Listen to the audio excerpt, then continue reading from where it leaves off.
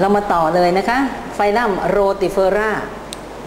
ไฟลัม Rotifera common name เราก็ตัด A ออกนะถ้าตัวเดียวก็โรติเฟอร์หลายๆตัวก็เติม S เข้าไป rotifers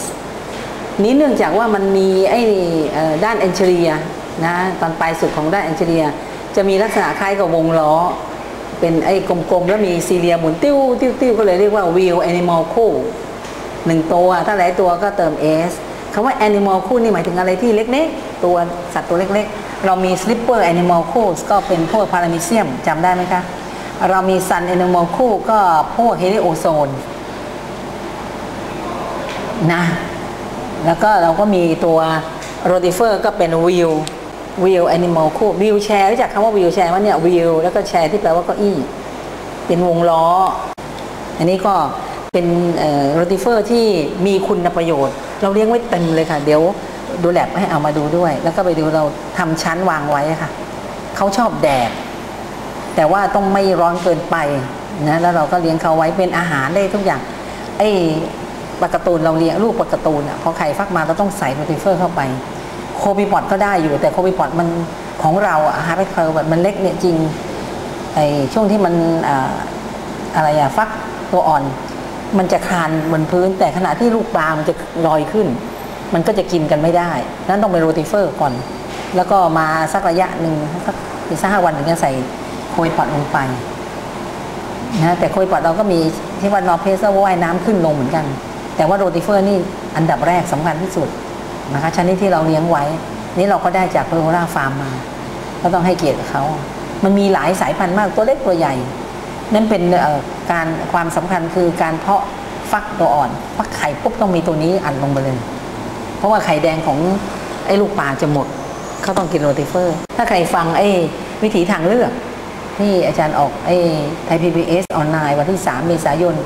10 โมงถึง 11 โมงนะฟังได้ย้อนกลับไปฟังได้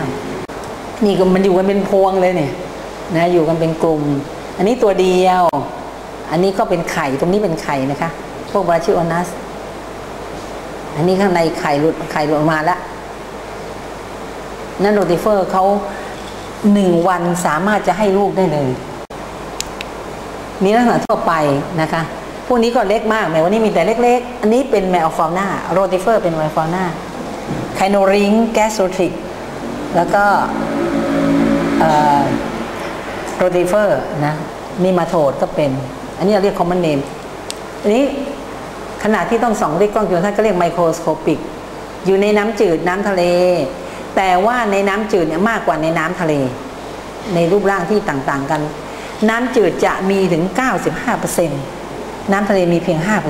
5%แต่ของเราที่เวลาเราเพาะเลี้ยงสัตว์ทะเลเราก็ต้องการของทะเลนักศึกษาดูต่อนะคะลำตัวไม่แบ่งเป็นปล้อง มีสมมาตรแบบสองซีกเหมือน เพศแยกกัน เพศผู้มีขนาดเล็กกว่าเพศเมียมอ ตัวตัวผู้นี่แคระนิดเดียวเลย แล้วก็ในสภาพแวดล้อมของ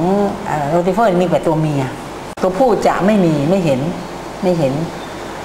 ยกเว้นเมื่อสภาวะแวดล้อมเปลี่ยนเปลี่ยนแปลงแล้วเขาต้องการตัวผู้เขาถึงจะเปลี่ยนเป็นตัวผู้ แต่ธรรมดาเขาจะมีแต่ตัวเมียด้านหน้า anterior ของตัวลำตัวนะ เปลี่ยนแปลงไปเป็นอวัยวะที่มีขนซีเรียออแกนซีเรียแล้วเติมรีเข้าไป ry ซีเรียออแกนซึ่งเราเรียกว่าโคโรนา หรือว่าวิวออแกน นี่นักศึกษาดูพวกนี้คอหอยเป็นกล้ามเนื้อ pharynx muscular pharynx muscular มี r ด้วยนะคะ muscular pharynx ซึ่งมีจออยู่ด้วย เราเรียกว่า mass tax เพราะฉะนั้นคำว่า mass tax อันนี้จะฝากนักศึกษาไว้ด้วยว่ามีความสำคัญของโรติเฟอร์คุยอยู่ตรงบริเวณคอหอย แล้วมันจะแบบอะไรอะเหมือนมีเต้นเต้นเต้นเต้นตุ๊กตุ๊กตุ๊กนิดหน่อย เวลาเขามีชีวิตอยู่ พวกนี้มี lorica หุ้มลำตัว มี lorica ซึ่งประกอบด้วยเป็นพวก cuticle มี lorica lorica นะคะ แต่ว่าอันนี้ยังเป็น Rotifera อยู่ protonephridia คุ้นแล้วนะคะระบบขับถ่ายซึ่งไม่เจริญ มีการสืบพันธุ์แบบ parthenogenesis สมาชิกมีประมาณ 1,500 ชนิด น้ำจืด 95%มีทะเลเพียง 5%นั้นต้องไปตักน้ำจืดมา เอา plankton net ลากมาโอ้ มีโรนิเฟอร์เยอะมาก แล้วก็มันมีการเปลี่ยนแปลงรูปร่างด้วย เขาเปลี่ยนแปลงรูปร่างเขาได้ มีความสำคัญในด้านการเพาะเลี้ยง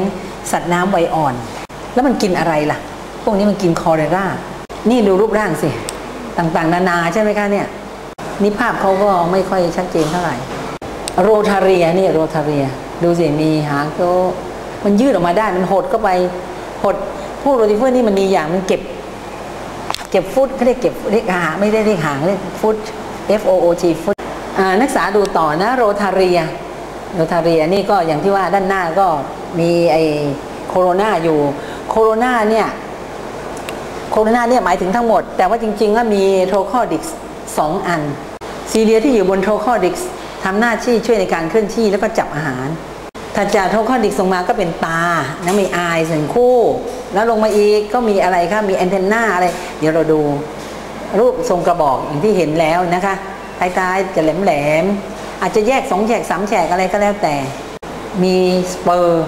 pedal แปลว่าท้ายๆ spur หมายก็อะไรที่เป็นยื่นๆขนแข็งออกมาอะไรอย่างเงี้ยค่ะ อันนี้ตอนด้านหน้าตรงบริเวณ anterior eyes in rostrum มันมาเป็นคู่นะคะ เวลา eye บอกว่าไม่ใช่ eye อันเดียว e y e ต้อง e y e s หนึ่งคู่นี่สวยนี่ของจริงเนี่ย สีแดงเป็น eyespot แล้วตรงนี้ก็เป็นไออะไรคะโทคอดิกส์นะบน pharynx มี jaw มี jaw อยู่ด้วย pharynx แล้วก็ protonephridia วันนี้เรียน protonephridia ทั้งนั้นเลยนะไตไม่ประสาทก็เป็นเออเป็นไอ ganglion แต่นี่นี่นี่เขาเรียกว่าเป็น brain แต่ว่าจริงๆก็คือ gang ganglion ทำหน้าที่ทั้งนั้น ตัวเมียมี germovitellaria ตัวเมียก็มีลักษณะที่ช่วยนะแต่ว่าเรียกชื่อเฉพาะว่า germovitellaria สองอัน แล้วก็พวกนี้ก็จะออกลูกเป็นตัว viviparous เห็นยังโรติเฟอร์อยู่ภายในตัวแม่ด้วยเพราะที่เห็นตัวแม่ทั้งนั้นนะคะที่เราเห็นเนี่ยตัวเมียทั้งนั้น ไม่มีตัวผู้ ตัวผู้มันเล็กมาก แล้วบริเวณฟุตก็จะมี pedal glands เปิดสู่ toe เหมือนนิ้วเท้าค่ะ ไว้สำหรับเกาะ secretion เหนียวเหนียวช่วยให้ยึดติดกับวัตถุ พบในบ่อในคูที่มีน้ำขัง Brachionus นะคะนี่ coronal cilia เขาเรียกอย่างนี้ ก็คือส่วนตรงนี้ แล้ว pedal gland toes เรามาดูตัวนี้นะ sensory cirri คือคือคำว่า cirri นี่ก็หมายถึงพวกขนเล็ก ๆ อะไรอย่างเงี้ยครับบางทีภาษาอังกฤษนี่มันค่อนข้างจะหลากหลาย ตัวนี้เรียกโคโรนาล่ะ บริเวณนี้นะคะ trochal disc mastax นี่ค่ะ อันนี้สำคัญนะคะ mastax ใหญ่ๆเนี่ยค่ะ mastax ข้างในมี trophi อ่าน trophi ก็ได้แล้วแต่บางคนก็อ่าน trophi บางคนก็อ่าน trophi T R O P H I เนี่ยค่ะ ช่วยในการจำแนกใช้ในการเวลาเขาจำแนกเขาจะเอาตรงนี้ออกมาดู ว่าลักษณะเป็นยังไงบ้าง อันนี้มี ovaryพวกนี้เพศแยกและนี่ตัวเมียนี่ตัวผู้นี่ค่ะ ตัวผู้ต่ำต้อยอยู่ตรงเนี้ยนะก็เลยปล่อยให้ตัวเมียออกลูกออกหลานไปตัวไม่ต้องสำคัญก็ได้ แล้วตรงนี้ก็เป็นส่วนของฟุตอันนี้มีนิ้วเท้า toe มีอันนี้มีสองนี่เป็นไข่ที่ฝากไว้คือตรงนี้ค่ะ mastax mastax เป็นลักษณะเด่นที่พบเป็นฟาริงอยู่บริเวณฟาริงของพวกโรติเฟอร์นะคะ ภายในจะมีจอเนี่ยมีจอ โทรไฟอยู่ตรงนี้แล้วจออยู่ตรงนี้ น้ำจืดมีถึง 95%เพราะนั้นเวลาที่เราลากแพลงต้นในน้ำจืดเราจะเจอแต่โรติเฟอร์ว่ายเต็มไปหมด แล้วก็ในน้ำเค็มก็ไม่เจอ เจอน้อยมากนักษาบราชิโอนัสไม่ใช่มีเอ็นไม่มีเอ็นนะ เป็นโรติเฟอร์ที่รู้จักกันในชื่อของวิลไอโนคู่เล็กมากเศษหนึ่งส่วนสามมมนะตัวผู้เล็กกว่าตัวเมียเยอะเลยนะตะกี้ที่เราเห็น ตัวแบ่งเป็นสองส่วน ส่วนหน้าเป็นทรังส่วนท้าย ก็เป็นเชลทั้งหุ้มด้วยรอริก้า ฟอร์มมาจากคิวริเคิลอย่างที่เราเห็นนะครับบราชิโอนัสเมื่อกี้ไปสุดของไอเทลก็แยกเป็นสองแฉก เป็นนิ้วเท้าเป็นโทสด้านดอซอจะนูนนะทั้งจะนูนด้านเป็นท่อแบน Brachionus ก็เป็นพวกที่พบตามบ่อตามคู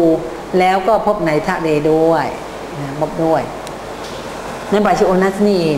เป็นสกุลที่สำคัญที่สุด นะสกุลสำคัญที่สุด ส่วนสปีซีอะไรก็แล้วแต่ว่าจะเป็นชนิดอะไรบ้าง อันนี้ Brachionus plicatilisบางช่วงเนี่ยมันเปลี่ยนแปลงรูปร่างได้ด้วยนะคะ การเปลี่ยนแปลงรูปร่างของมันเราเรียกว่าไซโครโมโฟซิส cycle cyclomorphosis cy clo แล้วก็ morphosis ก็ morphology mor pho sis cyclomorphosis การเปลี่ยนแปลงรูปร่างตามฤดูกาลบาชิโอนัสพิคาเตริส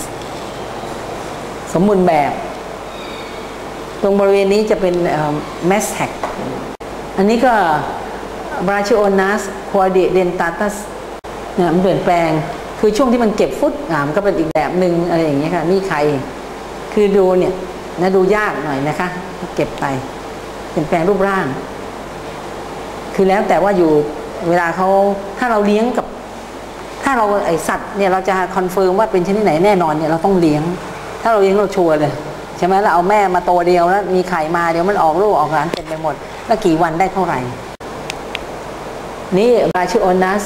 แคริซิฟอรัสนะคะแต่ที่เราจะมองไอเด่นๆ ก็คือตรงนี้ mass tax ตรงนี้ mass tax เนี่ยพอตรงนี้เปลี่ยนแปลงปุ๊บไอ้นี่ยื่นมาเลยนะคะ เรื่อเดียวกัน อันนี้พวก Foscularia r i n g e n s เซตไซอะเซตไซแปลว่ายืนอยู่กับที่อะนะ rotifers เซตไซ rotifers สวยงามนะคะ อันนี้ อันนี้จากกล้องจุลทรรศน์ธรรมดาไร้ไมโครสโคป of five rotifers attached อยู่คือเกาะกับพวกสาหร่ายนี่แหละ ตัวห้าตัว rotifer ห้าตัว แต่ละตัวก็ encase เอ่อหุ้มอยู่ภายในชีส สีน้ำตาล Kellicottia นะ Kellicottia longispina อันนี้คือให้เห็นว่า spine ยาวนะ spine ยาวใช่อันนี้นี้ Conochilus มีแบบนี้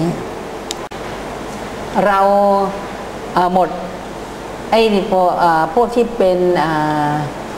Aschelminthes pseudocoelomate แล้ว เดี๋ยวเรามาดูทาริกราดา